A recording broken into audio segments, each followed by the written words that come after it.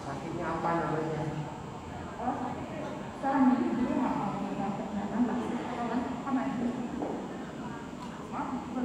boleh?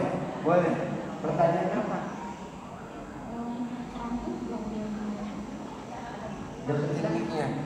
Dan?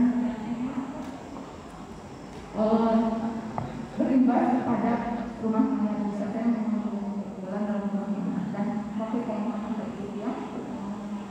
Yang ditanyain apa dulu nih?